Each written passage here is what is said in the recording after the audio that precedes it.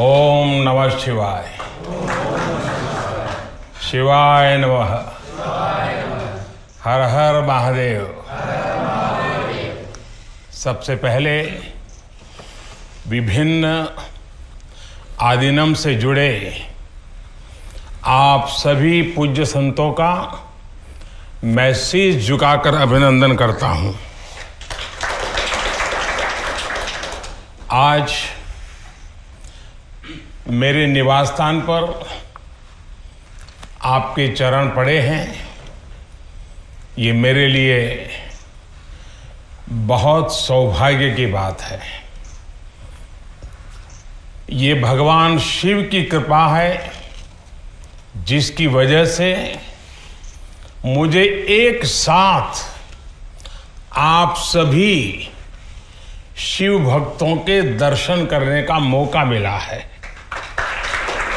मुझे इस बात की भी बहुत खुशी है कि कल नए संसद भवन के लोकार्पण के समय आप सभी वहाँ साक्षात आकर के आशीर्वाद देने वाले हैं। पूज्य संतगण, हम सभी जानते हैं कि हमारे स्वतंत्रता संग्राम में तमिलनाडु की कितनी महत्वपूर्ण भूमिका रही है?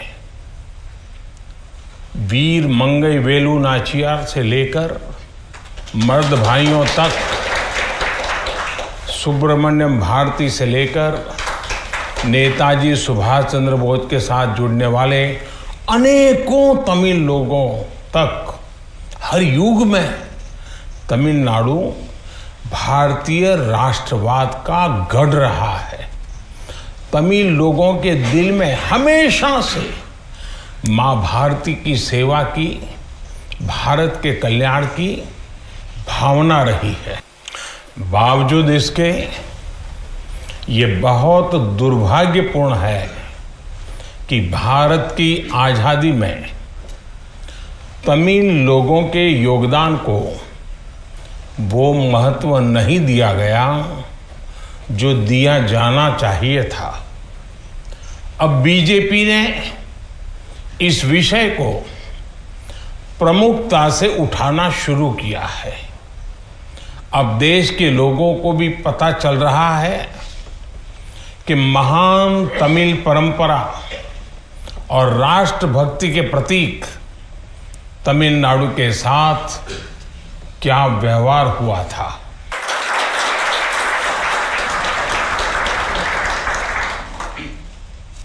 जब आज़ादी का समय आया, तब सत्ता के हस्तांतरण के प्रतीक को लेकर प्रश्न उठा था।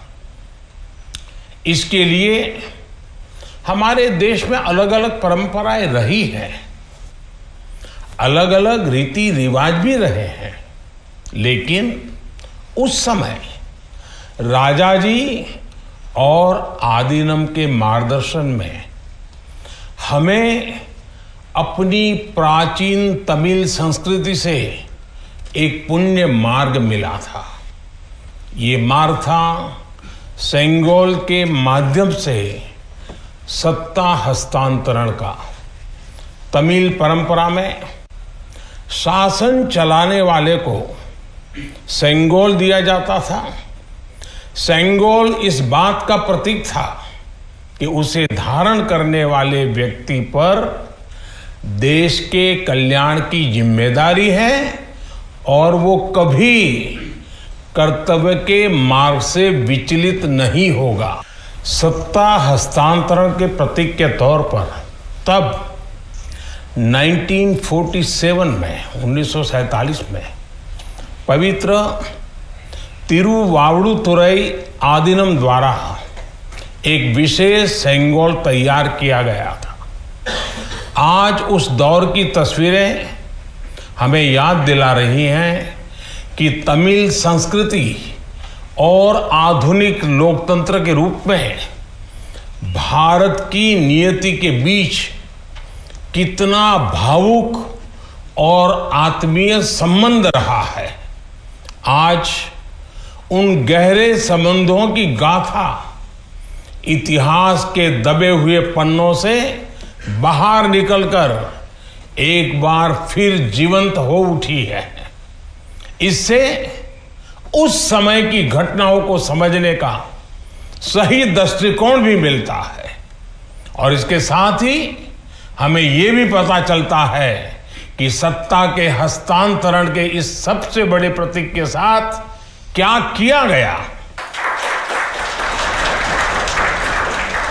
मेरे देशवासियों, आज मैं राजा जी और विभिन्न आदिनम की दूरदर्शिता को भी विशेष तौर पर नमन करूँगा।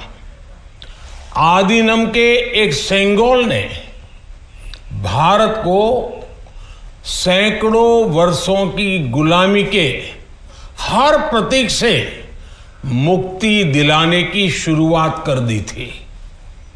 जब भारत की आज़ादी का प्रथम पल आया, आज़ादी का प्रथम पल, वो क्षण आया तो ये सेंगोल ही था जिसने गुलामी से पहले वाले कालखंड और स्वतंत्र भारत के उस पहले पल को आपस में जोड़ दिया था। इसलिए इस पवित्र सेंगोल का महत्व सिर्फ़ इतना ही नहीं है कि ये 1947 में हस्तांतरण का प्रतीक बना था। इस सेंगोल का महत्व इसलिए भी है क्योंकि इसने गुलामी के पहले वाले गौरवशाली भारत से, उसकी परंपराओं से, स्वतंत्र भारत के भविष्य को कनेक्ट कर दिया था। अच्छा होता कि आज़ादी के बाद इस पूज्य सेंगोल को पर्याप्त मान सम्मान दिया जाता, इसे गौरव में स्थान दिया जाता। लेकिन ये सेंगोल प्रयागराज में, आनंद भवन में, वॉकिंग स्टिक, यानी पैदल चलने पर सहारा देने वाली छड़ी कहकर प्रदर्शनी के लिए रख दिया गया था। आपका ये सेवक और हमारी सरकार, अब उस सेंगोल को आनंद भवन से निकाल कर लाई है। आज, आज़ादी के उस प्रथम पल को नए संसद भवन में सेंगोल की स्थापना के समय हमें फिर से पुनर्जीवित करने का मौका मिला है। लोकतंत्र के मंदिर में आज सेंगोल को उसका उचित स्थान मिल रहा है। मुझे खुशी है कि अब भारत की महान परंपरा के प्रतीक उसी सेंगोल को नए संसद भवन में स्थापित किया जाएगा। ये सेंगोल इस बात की याद दिलाता रहेगा कि हमें कर्तव्य पथ पर चलना है, जनता जनार्दन के प्रति जवाबदेह बने रहना है। पूज्य संतगण, आदिनम की महान प्रेरक परंपरा साक्षात सात्विक ऊर्जा का प्रतीक है। आप सभी संत शैव परंपरा के अनुयायी हैं। आपके दर्शन में जो एक भारत श्रेष्ठ भारत की भावना है, वो स्वयं भारत की एकता और अखंडता का प्रतिबिंब है। आपके कई आदिनम के नामों में ही इसकी झलक मिल जाती है। आपके कुछ अधिनम के नाम में कैलाश का उल्लेख है। ये पवित्र पर्वत तमिलनाडु से बहुत दूर हिमालय में है। फिर भी ये आपके हृदय के करीब है। शैव सिद्धांत के प्रसिद्ध संतों में से एक तिरुमुलर के बारे में कहा जाता है कि वो कैलाश पर्वत से शिव भक्ति का प्रसार करने के लिए तमिलनाडु आए थे।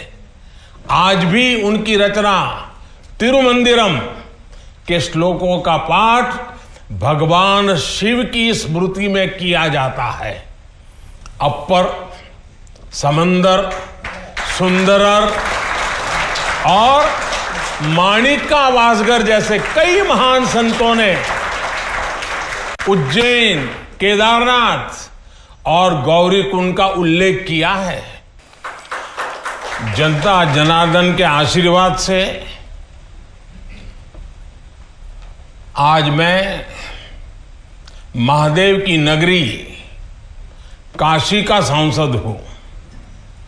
तो आपको काशी की भी बात बताऊँगा।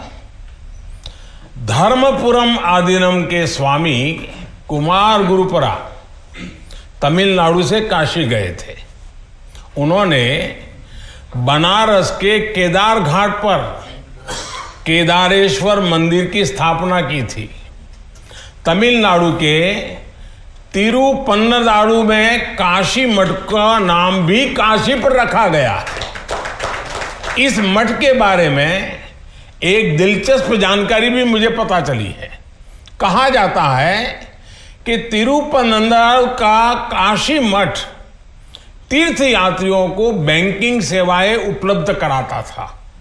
कोई तीर्थ यात्री तमिलनाडु के काशी मठ में पैसे जमा करने के बाद काशी में प्रमाण पत्र दिखाकर वो पैसे निकाल सकता था। इस तरह शैव सिद्धांत के अनुयायियों ने सिर्फ़ शिव भक्ति का प्रसार ही नहीं किया, बल्कि हमें एक दूसरे के करीब लाने का कार्य भी किया। पूज्य संतगण, सैकड़ों वर्षों की गुलामी के बाद भी तमिलनाडु की संस्कृति आज भी जीवंत और समृद्ध है। तो इसमें आदिनम जैसी महान और दिव्य परंपरा की भी बड़ी भूमिका है। इस परंपरा को जीवित रखने का दायित्व संत जनों ने तो निभाया ही है। साथ ही इसका श्रेय पीड़ित, शोषित, वंचित सभी को जाता है कि उन्होंने इसकी रक्षा की, उसे आगे बढ़ाया। राष्ट्र के लिए योगदान के मामले में आपकी सभी संस्थाओं का इतिहास बहुत गौरवशाली रहा है। अब उस अतीत को आगे बढ़ाने, उससे प्रेरित होने और आने वाली पीढ़ियों के लिए काम करने का समय है। पूज्य संतगण, देश ने अगले 25 वर्षों के लिए कुछ लक्ष्य तय किए हैं। हमारा लक्ष्य है कि आज़ादी के 100 साल पूरे होने तक एक मज़बूत, आत्मनिर्भर और समावेशी, विकसित भारत का निर्माण हो। 1947 में 1947 में आपकी महत्वपूर्ण भूमिका से कोटि कोटि देशवासी पुनः परिचित हुए हैं। आज जब देश 2047 के बड़े लक्ष्यों को लेकर आगे बढ़ रहा है, तब आपकी भूमिका और महत्वपूर्ण हो गई है। आपकी संस्थाओं ने हमेशा सेवा के मूल्यों को साकार किया है। आपने लोगों को एक दूसरे से जोड़ने का, उनमें समानता का भाव पैदा करने का बड़ा उदाहरण पेश किया है। भारत जितना एकजुट होगा, उतना ही मज़बूत होगा। इसलिए हमारी प्रगति के रास्ते में रुकावटें पैदा करने वाले तरह तरह की चुनौतियाँ खड़ी करेंगे, जिन्हें भारत की उन्नति खटकती है। वो सबसे पहले हमारी एकता को ही तोड़ने की कोशिश करेंगे। लेकिन मुझे विश्वास है कि देश को, आपकी संस्थाओं से, आध्यात्मिकता और सामाजिकता की जो शक्ति मिल रही है, उससे हम हर चुनौती का सामना कर लेंगे।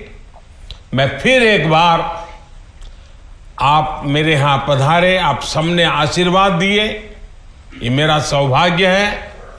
मैं फिर एक बार आप सबका हृदय से आभार व्यक्त करता हूँ। आप सबको प्रणाम करता हूँ। नए संसद भवन के लोकार्पण के अवसर पर आप सब यहाँ आए और हमें आशीर्वाद दिया। इससे बड़ा सौभाग्य कोई हो नहीं सकता है। और इसलिए मैं जितना धन्यवाद करूँ उतना कम है। फिर एक बार आप सबको प्रणाम करता हूँ। ओम नमः शिवाय। वणकम।